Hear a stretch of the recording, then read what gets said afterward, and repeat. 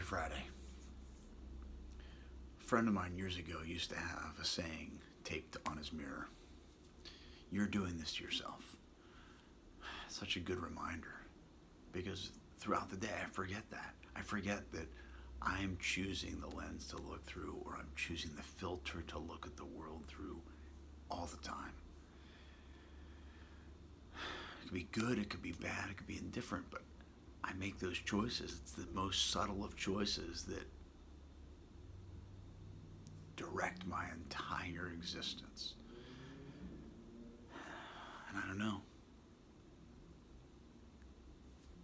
Part of me wants to resist the simplicity of those sta- of that statement. But to the core of me, I, I believe it to be true. Because even yesterday, there was times where I just part of me wanted to say life was all right, and life is is grand. It's great. The only thing I think is funny because looking back, the only thing that's not all right is that I don't have everything that I want, think, or desire I should have. So it's like a spoiled little child. If it's not going to be exactly the way I want it, life is just all right. And that's not a way to live.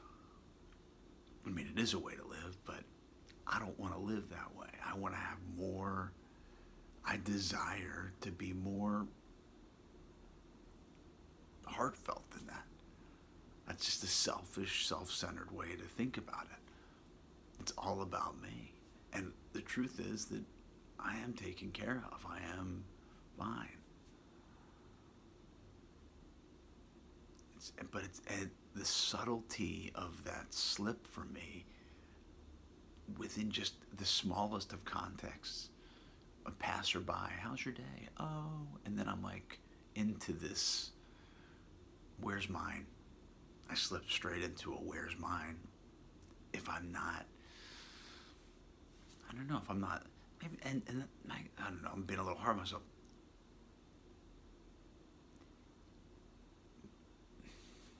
If I'm in that uh, frame frame of mind where I've been lately, a little bit miserable. And I think that misery is is grown out of a little where's mine.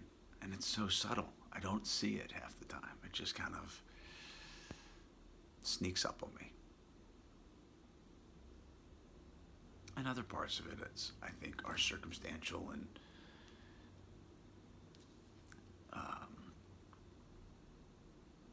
real life stuff. Passing of my mother,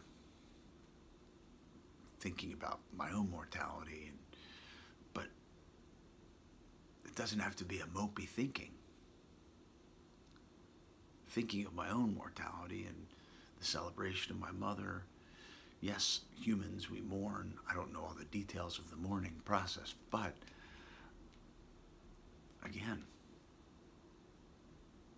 can choose